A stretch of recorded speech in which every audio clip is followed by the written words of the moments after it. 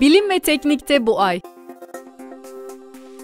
Bir perşembe akşamı yatıp cuma sabahı uyanmak olağan bir iştir. Ama 4 Ekim 1582 perşembe gecesi yatıp 15 Ekim 1582'ye uyanmak biraz garip olsa gerek. Takvim biliminin binlerce yıllık geçmişinin öyküsü. Öyle bir geçer ki zaman,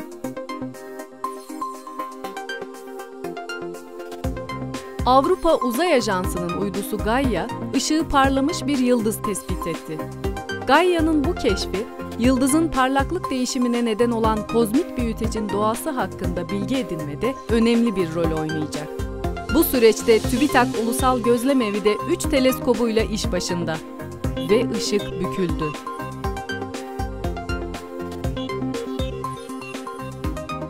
Türkiye'de ilk kez verilmeye başlanan Rahmi Koç Bilim Madalyası ödülünün fen, matematik ve tıp alanındaki ilk sahibi Profesör Doktor Aydoğan Özcan oldu.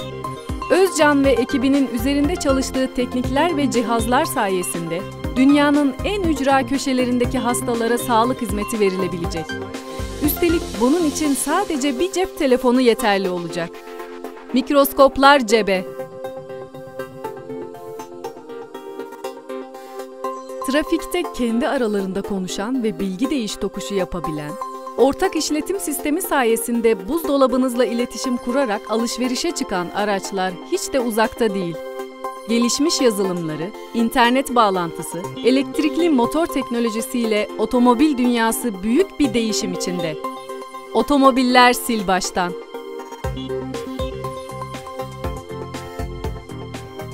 Hepsi bu ay bilim ve teknikte. 2016'nın önemli bilimsel ve teknolojik gelişmeleri özel eki ve yıldız oluşumu ve gelişimi posteriyle birlikte. Bilim ve teknik, nesiller büyüten dergi.